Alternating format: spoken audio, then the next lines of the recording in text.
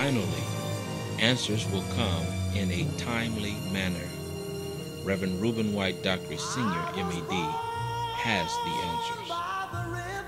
Evolution of the African American male. Uh, Ms. Miller, your question was, how do we get what now?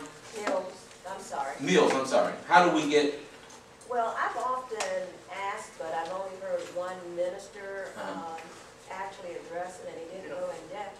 But my question has always been about why we were even slaves. okay, And usually disobedience, I usually, and I think it's a curse, okay. the slavery. Hold that thought right there. When we get into dialogue, we're gonna come back at it. I think you're gonna get the answer though before we get to the dialogue. All right. Okay, so, uh, uh, uh, uh, uh, uh, sorry. Let me go back one here. All right, what we want to do is, or are four things. Uh, As learning objectives, we want to receive historical background behind the mindset of African American males since 1620 to present.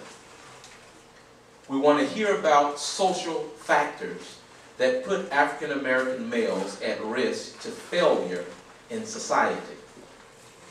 We want to look at, or you'll be introduced to, an instructional model for African American males.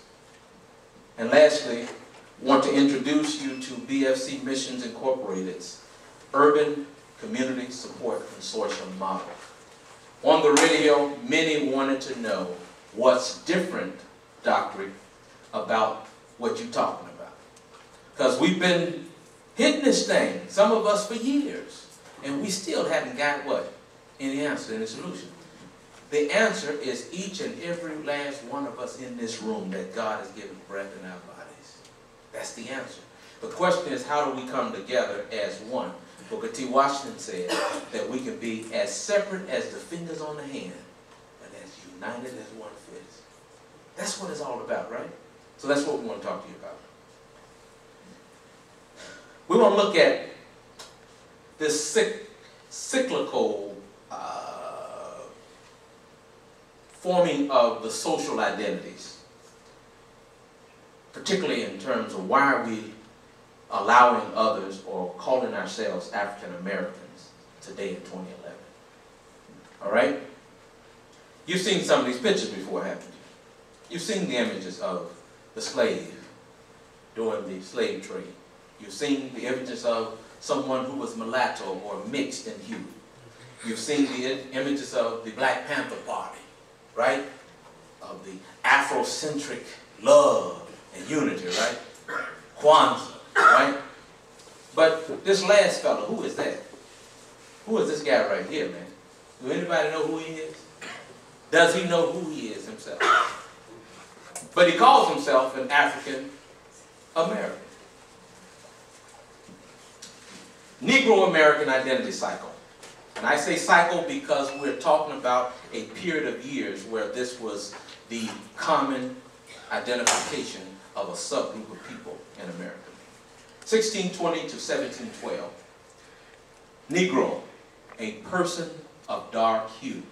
And 1515, Bishop Bartholomew was a, uh, a, a, a, Catholic bishop, and he gave permission to the Spaniards and the Portuguese to deport the first human beings from the continent of Africa on the west coast to Spain and Portugal. All right? Their intent was to use them as indentured servants. Okay? So they had an opportunity to uh, work for a while and gain their freedom. But some folk over in the colonial America saw that and saw that model and said, hmm, we got us an economic plan. And I wonder if we jumped into the slave trade, okay, and we brought us some slaves over here, but we're not trying to promise them no what? Freedom. We're going to introduce them to society of colonial America under the guise of a what? Subhuman. We already got some Europeans over here we tried to make slaves who were rejects from England. We tried to make the Native American slave, but they knew the land too well. Okay? And we even tried ourselves to cultivate the land, but what we really need are some strong backs. So let's go and participate in the slave trade, but we're going to dehumanize them and make them property. We'll identify them as a subgroup with the term Negro, as the Spaniards did. Okay? This classification of a subgroup in colonial America, because it had organized itself as a nation it stripped the universal rights of independence from the slaves. It wasn't so much a personal thing, it was an economic thing. So you ask, how did they get this way anyway? How were the Europeans able to come over into the continent of Africa and befriend these people and convince them to what? Become bait for them. Well, if you ask me, out of disobedience. Those people, those indigenous people in the continent of Africa, were not obedient to the will of the Creator. Right? And as a consequence, they not only killed and enslaved one another, but they opened the door for other folk to come in and do the same thing. So rather than pointing the finger at the white man, we really need to ask ourselves, what did I do to get in this predicament? And what can I do to back out? Hmm. Okay? The focus shouldn't be anger toward the system or the white man. It should be anger toward yourself in terms of not resolving your own issues and freeing yourself. Amen. Whom the Son has set free is free indeed. All right? Um, I, I, hope I'm not seeing hands. I'm going to give you, we're going to have some dialogue. This is about to get heavy, dog, but just stay with me. Now, you'll notice in the black down here, this identification or classification was external in nature, and it was the external basis for later exclusion from the American Declaration of Independence. See, America hadn't formed as an independent nation yet, but they already cast a die to exclude people of Afro descent. You understand what I'm saying? All right, we're gonna, don't worry about it. We're going to get there. We're going to get there. Colored American identity cycle. 1712 to about 1900. Colored, a person of Afro descent mixed with European blood. How did that happen? Well, it was a practice that a fellow by the name of William Lynch. Some, some, some say it's fiction and it's a fairy tale. But at the University of Virginia, there is a document mm-hmm. that is said to be the original Lynch letter, written in 1712. And he was paid to come to the new colonial America and teach slave masters how to keep from having to cut their slaves' feet off for the Yes. running, Yes. whipping their backs and beating them and destroying good economics, and to control their minds. Go. One of the things Lynch said you have to do is you've got to split them up. That's right. You got to cause them to fight against one another. Because divided, All right. Y'all ain't gonna preach. right, put it back. Together we'll stand, but div- I ain't gonna preach. I can't preach right now. It's all right. But divided, you'll always fall. All right.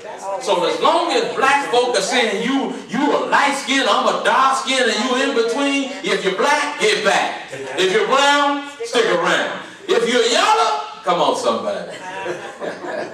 Look, okay, all right, we can't go there. We can't go there today. But it was intended to keep this friction going.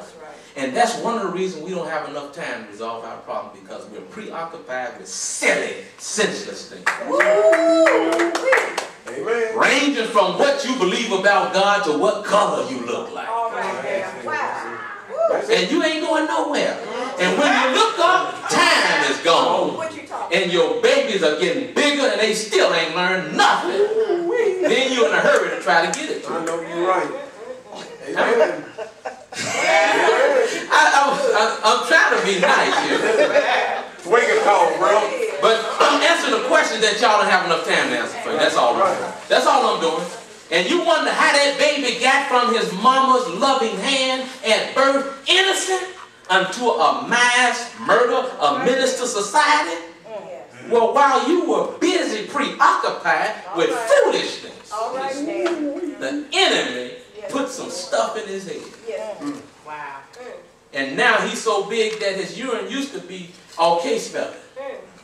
Can I talk real young? This straight talk, ain't it? That's right. It stink now. There you go. Wow. Y'all excuse me. I, I, I grew up in the housing projects of Chicago, and sometimes that ghetto come out. It's all right. It's all right. All right. There was a creation of a new identity by saying color. Because now we had a mixture of people who once were dark in hue, but now we can see, hmm, they look a little bit like their captors. All All right, right. Mm. And some of their captors felt bad that part of me is over there in the fields. So I need to find me some kind of way to make a distinction. So you become a good one when you act a certain way.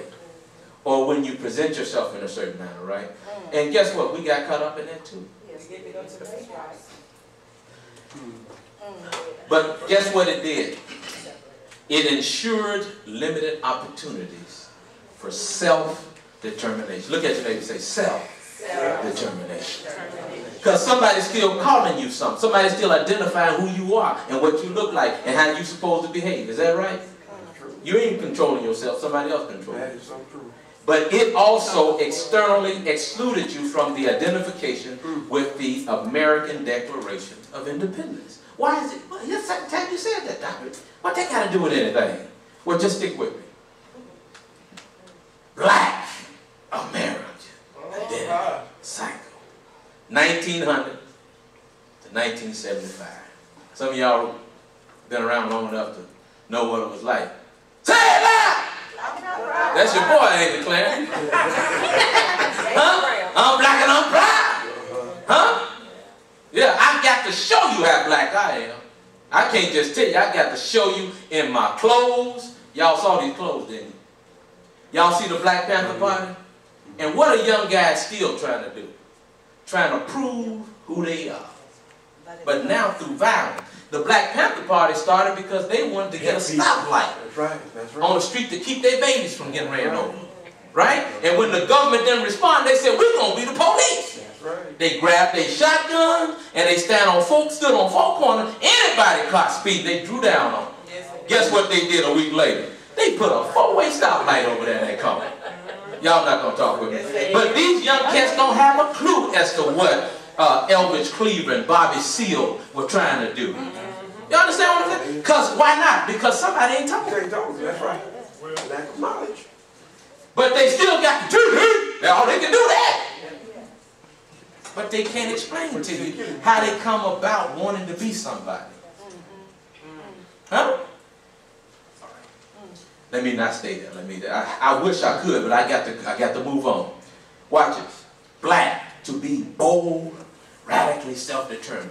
In about 1900, is said to be the beginning of the Harlem Renaissance. This is where black people said, now that we're free from slavery, we're going to start determining ourselves. We're going to identify ourselves. And guess what? We're not Negro and we're not colored, but we're strong people. And we got something to offer the world. Duke Ellington and people like that, and Fats Domino are going all over the world in Europe and France and England. They recognize them, but they still ain't getting recognized in America mm-hmm. as anything other than a Negro or a colored.